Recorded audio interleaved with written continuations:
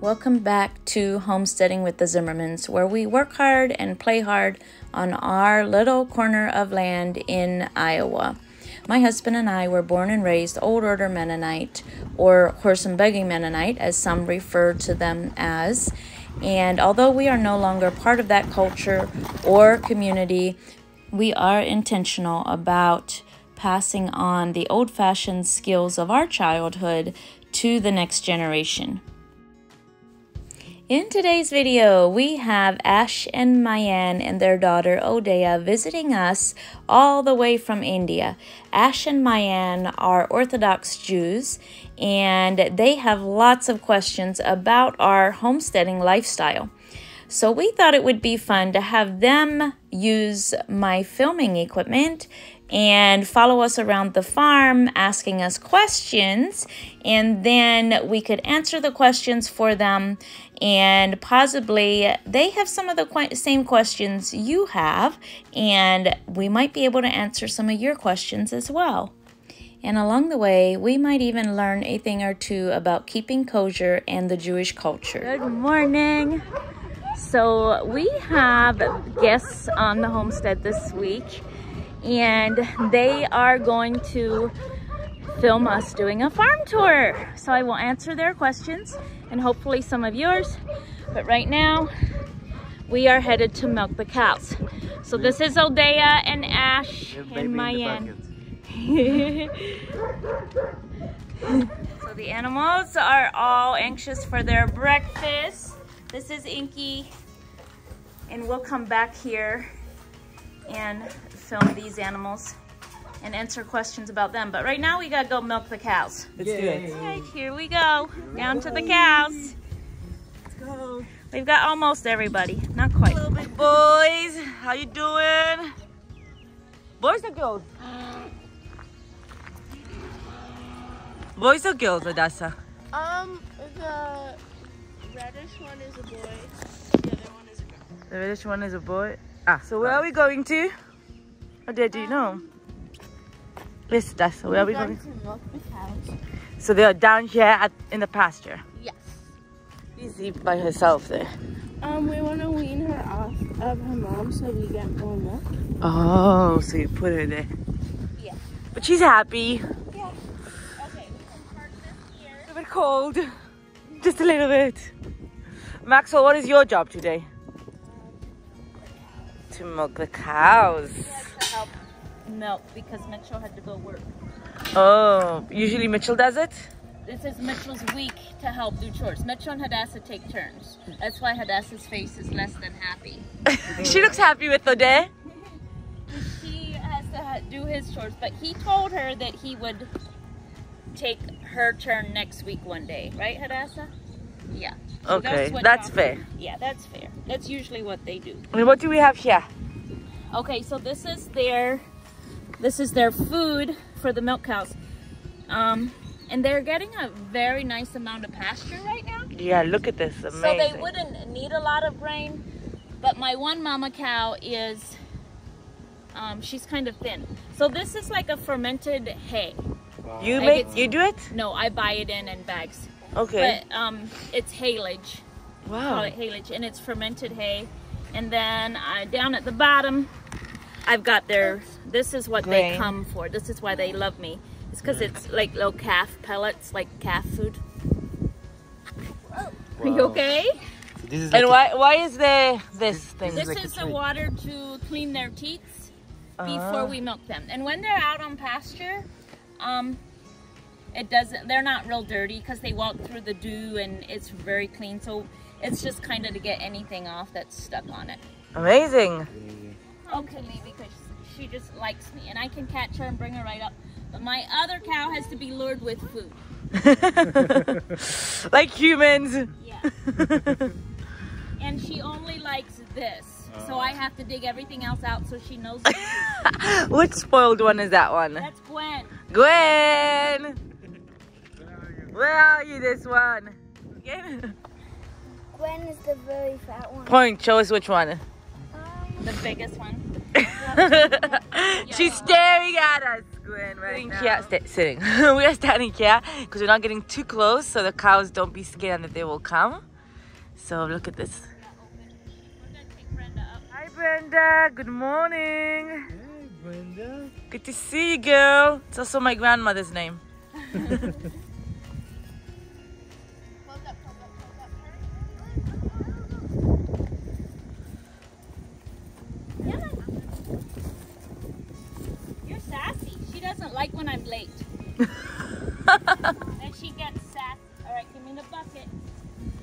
So you do two at a time? Yeah, the kids will start with her.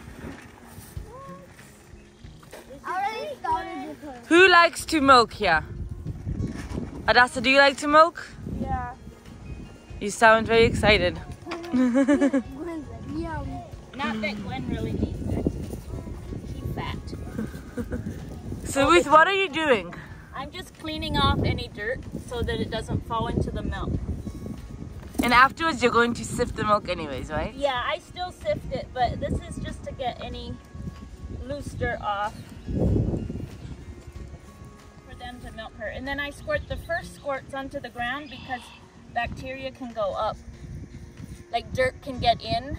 Oh, okay. And so then the first squirts are usually the ones the highest in bacteria. Interesting. All right, there you go, To guys. ask why did she squirt a little bit before? Why did I squirt some milk on the No, why was she she already like started leaking? Yeah, because she, um, Was she just so full? yeah, she's so full because her baby's only three months old. Oh, Lizzie's her baby. Yes, Lindsay is her Ah, cute. So, what do you think? A lot of people do in machines and not by hand. Um, I have a machine, and the kids use it when I'm gone. But it's hard to sanitize all the hoses.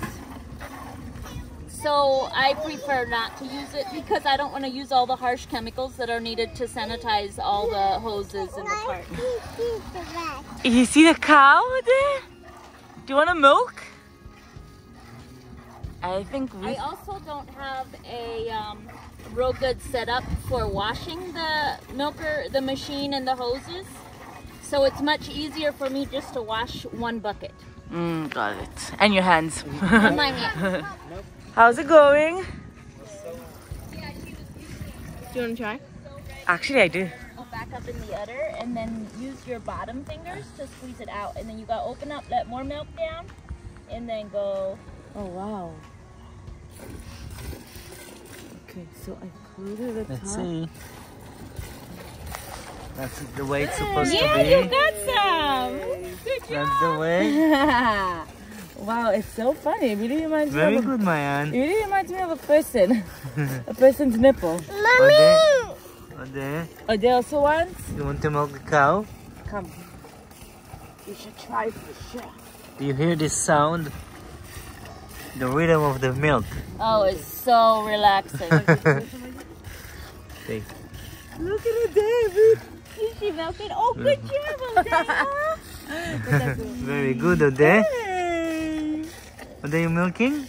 Now let's do it together. Yay. So, but it doesn't come out as much as it comes out for what to do is you want to take your hand and then you want to close it up at the top with your thumb and your forefinger. And then you use your three bottom fingers to just squeeze the milk right out of the bottom. And then you open it up and let more milk come down so that it doesn't go back up. And then you squeeze whatever you have trapped in here, you squeeze that out the hole. Ah, Wow. I've been milking Daddy. for two, one year. beautiful. Wow. How long does it take you to milk a cow? Um, I can milk about three gallons in 10 minutes. Wow. Whoa. From 8 to 10 you've been doing this. Yeah. But how, you, how do you make sure that milk gonna go down?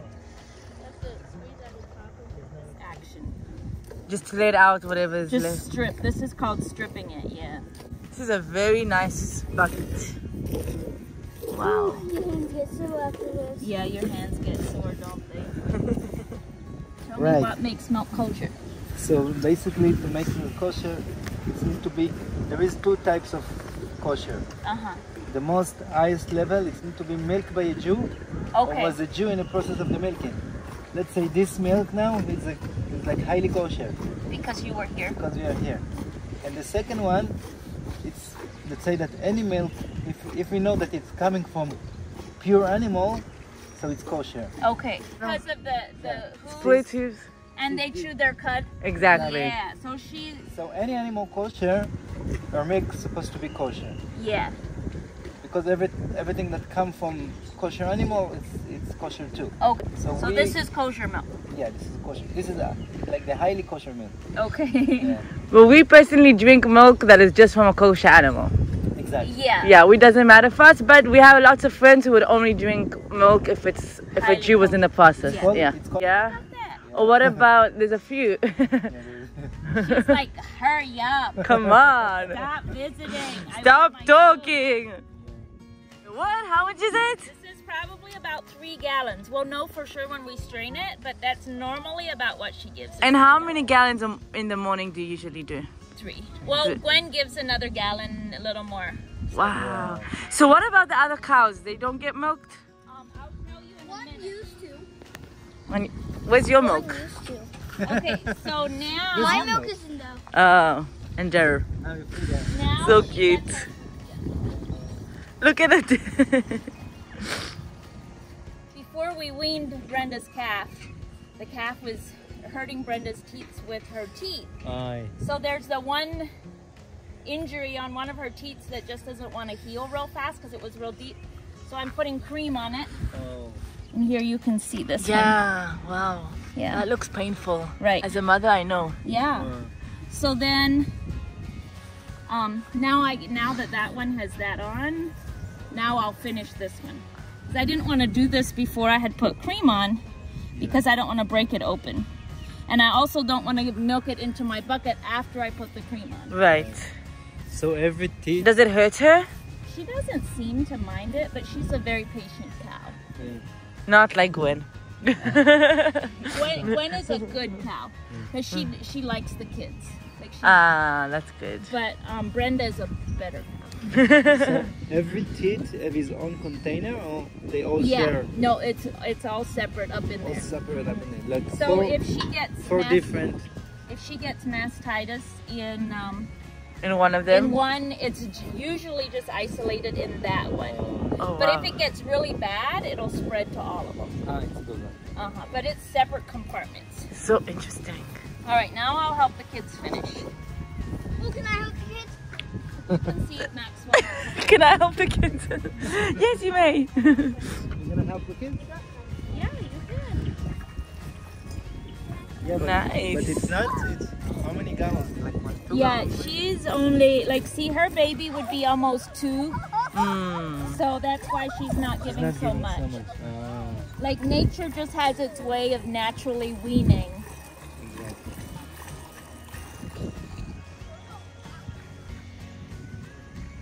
What is the difference between like homestead or milk cow than uh, industrial milk cow? But uh, about the quantity of the milk, about the quality of it. So for homesteaders, they are mostly like their priority is the health and happiness of their cows over quality quantity of milk. Yeah. So quality of milk over quantity. Yeah. That's what I would say is probably the biggest difference between commercialized dairy and So, so you maybe produce less milk from this cow, Yeah. but this milk is much more quality and much Yeah. more healthy. Yeah, because we're not looking to make a lot of money on the milk. We just want highly nutritious milk rather than when saying hurry up, rather than um, lots of milk and more money. Exactly. Beautiful. So maybe it's less milk, but it's much more quality. quality one. Yeah, like the animals. Um, so in commercial dairies, they would be they wouldn't be out on pasture because when they, I mean some would, but as a whole, when a cow digests grass, it takes energy to digest the grass. So then she's putting some energy into digesting the grass and not as much into making milk. Mm. So then they don't produce as much milk and then a commercial farmer doesn't get as much money because it's not so much milk. So they put all their cows in a big building and feed them like ration food, you know, that's that's just for production of milk. Mm. Wow. You're good. now we're putting the cows back home. Bye. Thank you for the meal. See you mañana. And then say see you tomorrow. Wow, milking cows. Okay, so this is Milk Cow. This is Milk Cow. She's just Fiona's just a beauty queen. But, She um, is a beauty we queen. will we will breed her and then her babies we will probably sell her babies because lots of people like those Breed. for pasture ornaments and pets because they're so beautiful um, but they really are a beef cow Oh. um, but we will probably breed her sell her babies and that will help offset our winter feed costs because the babies are more expensive. And then those two are beef cows. So the one laying down is nutmeg and then her baby paprika is up here and paprika is for harvesting. She's for meat. She's half wagyu half mini hereford and then the black and white one. Where is she? I can't even see her. She's down here that's norma No. and she is half jersey half normandy and she is going to have a baby in about a month oh wow. and then we will milk her as well Beautiful. So then we will have three milk cows. But then before winter comes again, when we have to buy hay, we will sell one milk cow um, and just keep two of our favorite ones.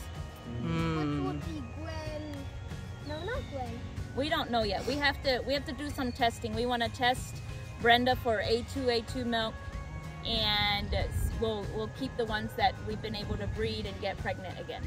But in the summer, it doesn't matter how many cows we have because we have all this The grazing space. land to keep up with it. Right here will be cut. It's almost time for harvesting it for the first time, and it will be baled.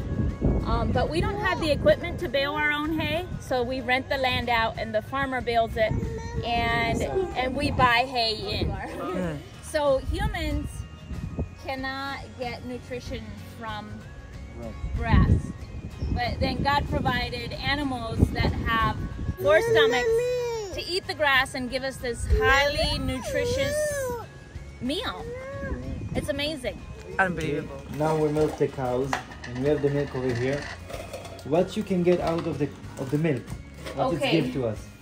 So, this is milk from earlier this week.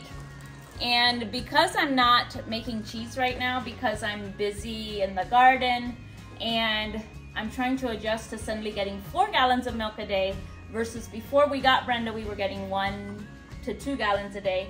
So I have all this milk to take care of. So what I'm doing is I'm just skimming the cream and I'm gonna save the cream because that's the most valuable part of the milk. And then the skim milk will go to the pigs and that will help our feed costs for the pigs. And we'll go to the barn and see the pigs and then you can ask more questions about the pigs then.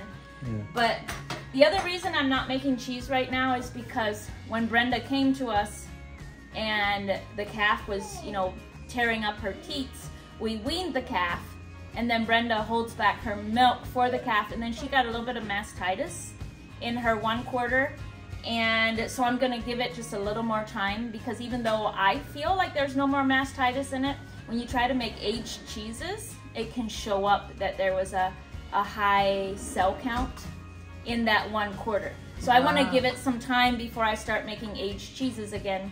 Um, and the pigs really don't mind. They, They're Mhm. crazy over the milk. So here we have like a skim milk and cream. Yeah. What else you can make out of milk? Um, so I'll make cottage cheese, cream cheese, Ice mozzarella, cream. ice cream. Ice cream. Um, those are all things that you can make um, with milk that doesn't have to be aged. Yeah. You know, so your bacteria doesn't matter quite as much. But when I want to make aged cheeses like Asiago and Budaques and um, what was the other one? Oh, Cheddar? Gouda. Or I haven't made cheddar yet, but I mm. plan to. I made Gouda, and then when it ages, if there's a high bacteria count, then your cheese will get ruined as it ages. And that's a lot of work to make cheese. So you want to make sure that everything is just right before you go to all the effort to make hard cheese. Got it. And one last thing, Okay, butter. You have to butter. Oh, you want to make butter today? I will get you started on that right away. I get so much whey and buttermilk that it just goes This to is the all pigs. to the pig. Yeah. Um, like I could put it in the garden, I could make things with it, but on on this level, you're better off having pigs. Yeah. Because by the time I decide what to do with all this milk, I'm kind of I've made enough decisions about dairy. exactly. So we're going to um, keep some of the fresher milk. This is all like two days old, and we're gonna turn that into chocolate milk for the day. Yay! Chocolate milk. And I'm just adding this to yesterday's chocolate milk, and then We'll add Hadassah just will cacao and Yeah, Hadassah will add more stuff. And then this is going to the pigs.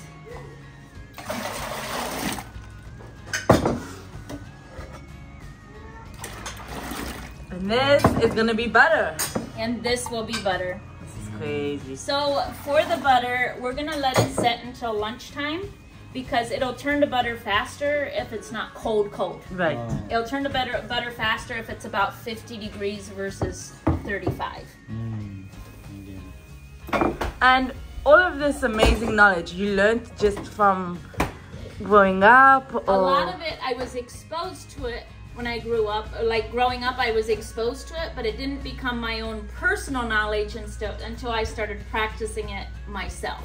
And then the knowledge becomes my knowledge. Yeah. But because I was exposed to it growing up, it wasn't um, a new idea. right. But it, it took some exploring of my own, Your own, yeah, to make it my knowledge. Beautiful. And then, of course, a lot of mistakes. yeah. Of course. What's going on here? Tool. This is a stirrup hoe. And I'm just doing some light hoeing between the rows of my corn. So my corn is about two inches tall. Can I stand here? Here I can stand, right? Yeah, you can Yeah. walk in the garden. Okay. So my corn is about two inches tall. So I'm just using this hoe and I'm cutting off all the weeds that are between my rows of corn, just like Ah. that.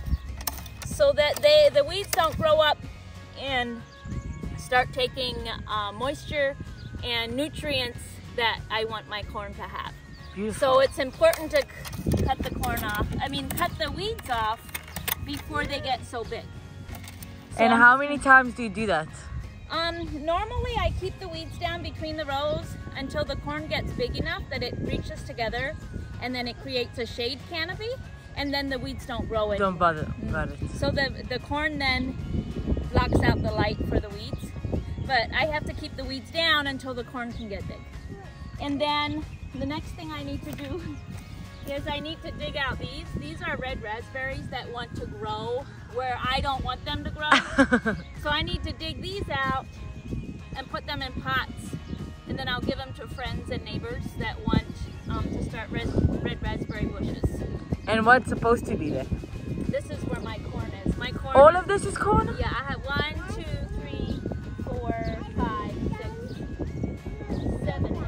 eight, eight rows of corn. Wow, do you can corn? I freeze the corn. Then right here is um. Are those onion. mushrooms? Yeah, those are mushrooms. No way! That's because of all the rain we've had. Wow. So then these are sweet onions and they'll grow up and be the big softball size onions Yeah. and those are the ones we keep for winter.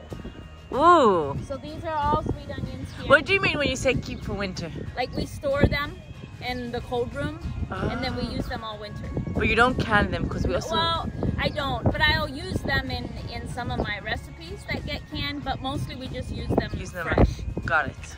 So we planted 150 sweet onion plants. Wow. That's And a then- lot. Yeah. And then here. Here we have red beets. Ooh, look at the leaves already. I know, they're so pretty. Gorgeous. So those are red beets, and here are carrots. This row, this tiny row here is carrots. And this row is carrots, right here. So it's gonna be quite a lot of carrots. Yes. And Um, down here is already, you can already see it. Yeah. So these So- are spring onions. The, we ate yesterday. Yeah, we put those in our salads. And then here is broccoli, cauliflower, cabbage. There's lettuce down at the other end. Here we've been eating Woo! these. These are a French breakfast variety. they're And I like these because they're easy to slice to put in salads. Can I also have one? Yeah, you can have one. Mm, You can have as many as you want. Oh, thank you. Here's a little one. Ooh, that's a cute one. Mhm. Nothing tastier than eating it off the ground. You want some spinach to go with that? Oh, the spinach, tell them how it tastes like. It tastes like butter. The spinach tastes like butter. Mm-hmm. Wow. So the baby spinach leaves taste like they're dipped in butter. Here, Mayan. Thank you. Oh my goodness. They're As so a good. vegan, I'll just call this butter. yeah, that's why I said you'll like this, Mayan, because this tastes like butter. Let's show them what the boys are doing. Yeah. Show them what are. How um, th- these are farm boys, you all. They can be on this for hours. yeah, they're hauling wood to make bonfires. What's here? So this lettuce seed, I just seeded like grass seed. And then when it gets a little bigger, we'll cut it off like cut lettuce or leaf lettuce. Yeah. And we'll eat it like we do the spinach. And then I'll take some of my favorite ones when they get a little bigger and I'll transplant them away from their, you know, from this. And then they'll get, um, they'll give a nice big head of lettuce. That is so clever. Wow. And this And then here I have head lettuce that I nashed on yesterday. Yeah, these I bought as seedlings and planted them here. And then we have grass clippings as mulch to lock the moisture in. You can see how much more moisture is in there. Wow. And that also works as a weed barrier, so the weeds can't come through.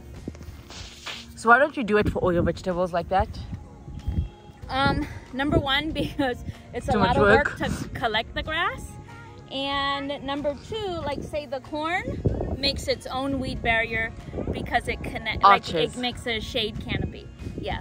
But wherever um, something is going to be all summer, like say the herbs here, like my parsley, This, parsley? this is cilantro and this is parsley. Wow. And so like these will be here all summer. So I definitely want um, weed barrier here. And then like my tomatoes and peppers, when we put those in, those will get weed barrier too. What is all of this here? These are like little red potatoes, like Oh. early, early potatoes. Yum. Um, these are sugar snap peas on this fence. And When did you do all of these? Um, I have to look in my diary, but I think we put these in like mid-April, so about a month ago. Ah, wow, because it looks really well. Yeah, it's really um, our days are getting long, so Right. it gets a lot of daylight hours. So then things just grow really fast, and it's hard to keep up. Wow. And then these are strawberry plants that are blooming. Ooh. This is supposed to all be full of strawberries like this, Why? I can't Um, wait to see.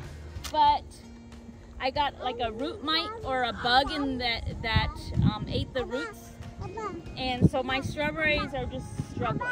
Some of them. Yeah, Some of them. some of them. This is Hi. Are you eating spinach? this is garlic. Ooh, ah.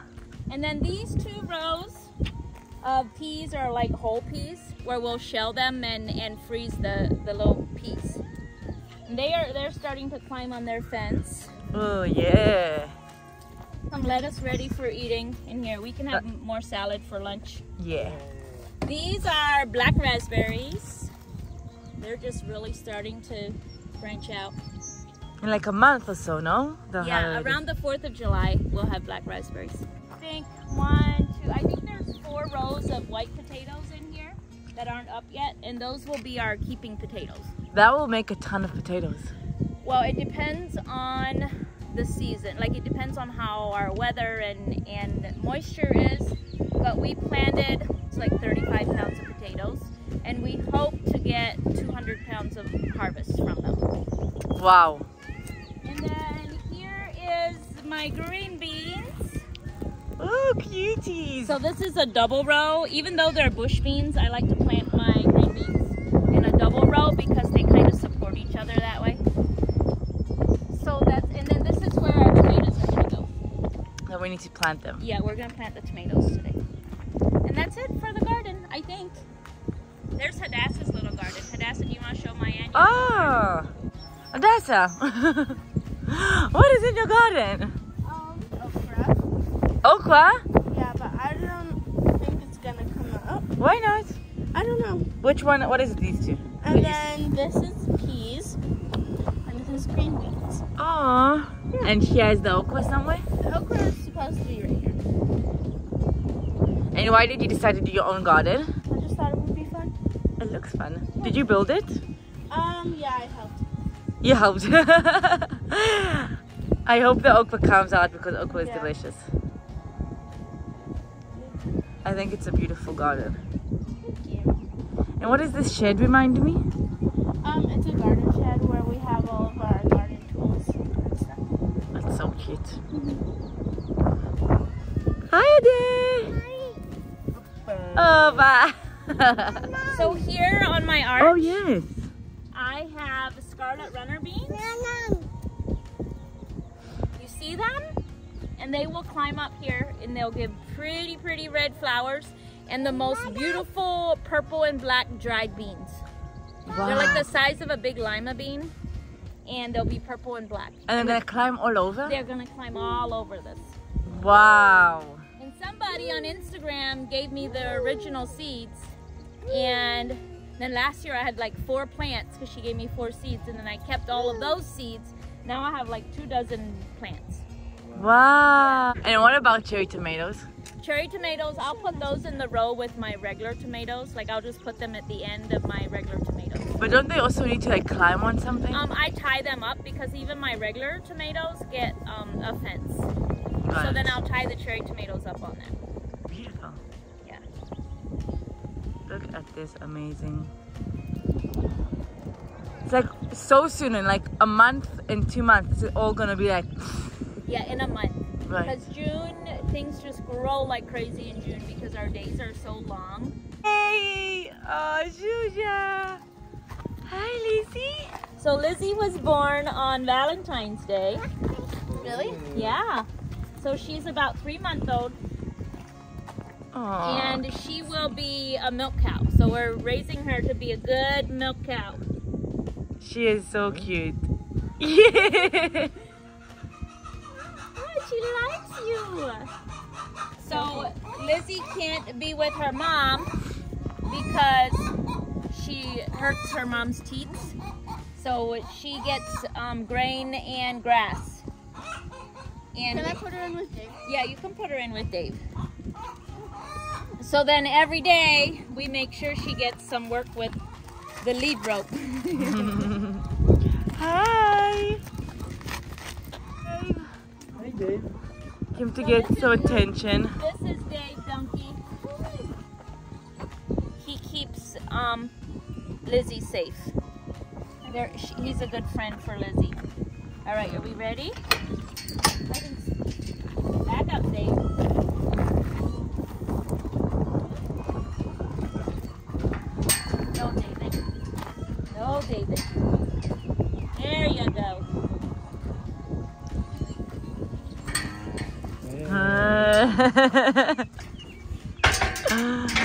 Hi Lizzie, good girl. Dave is fat. He's very overweight. Chubby little boy. Yeah, and donkeys get fat on grass. So he can't go down with the cows because he'll get too fat. Imagine we would get fat on grass. it's Eating spinach. It's because God created donkeys to be a desert animal. So they just need a few bites of desert grass every day and they're good. And here in Iowa, they have all this lush grass. So that's why he's fat. He's not made for Iowa grass. Wow.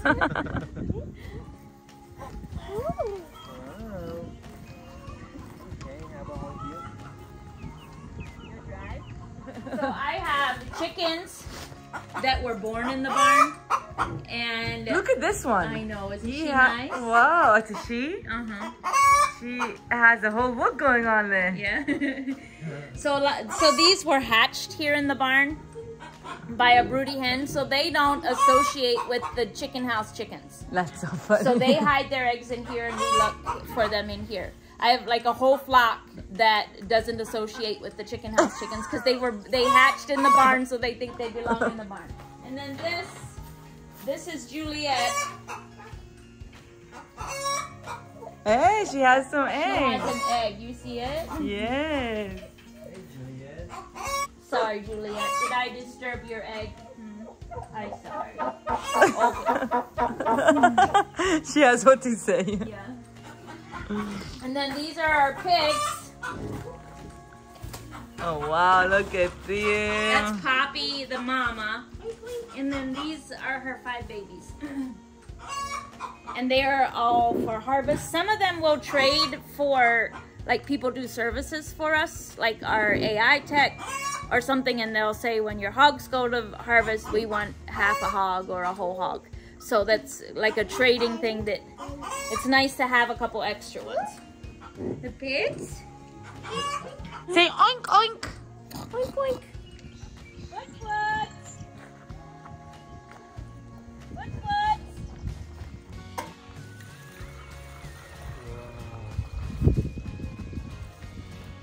They're gonna love this, aren't they? They will. The fe- I turned the fence off. What's the yellow thing? So when we put the pig food in, in the milk, it expands their stomach, and then they can eat more. and I'll take the bucket and try to lure them out. And then they get fat fast. Uh, All right. And you want that? Yeah. yeah. Ova. What's that? What is what's what? What is uh, Pennsylvania Dutch for pig? Keeps you in shape, Ruth. Right?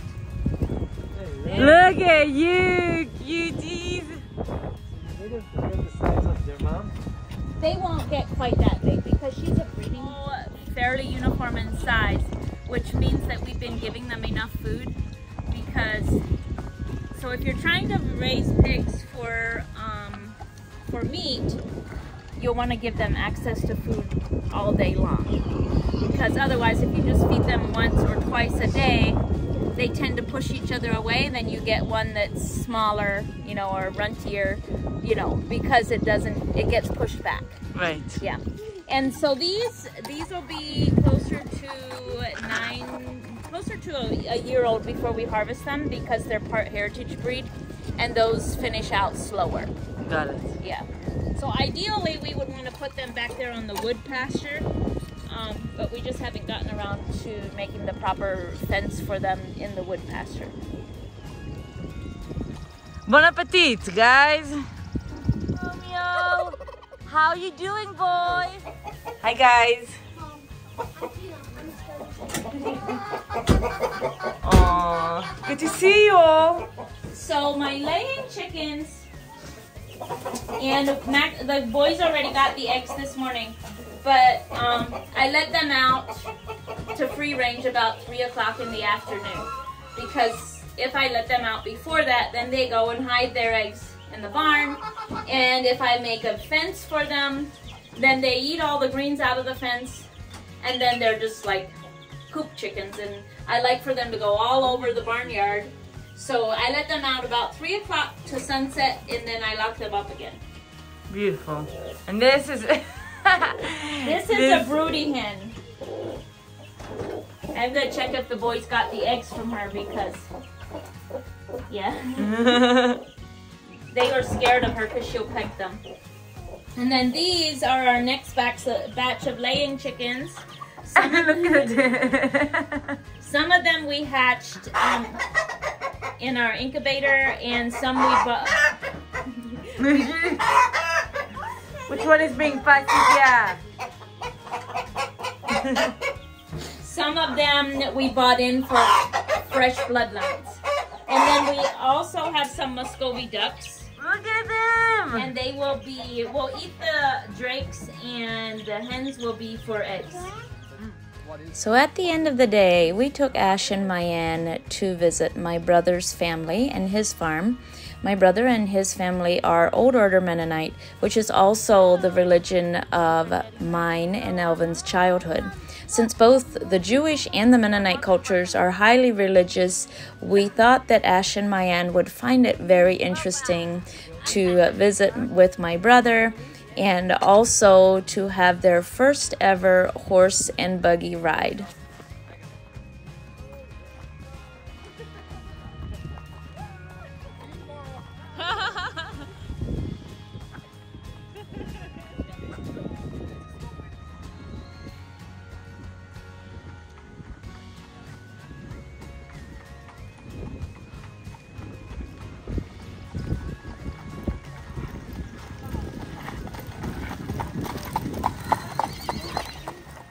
Thank you for watching today's video. I hope that you enjoyed the dialogue between our two different cultures today on the video as much as we enjoyed learning about um, the Jewish culture of our friends and just spending time with them.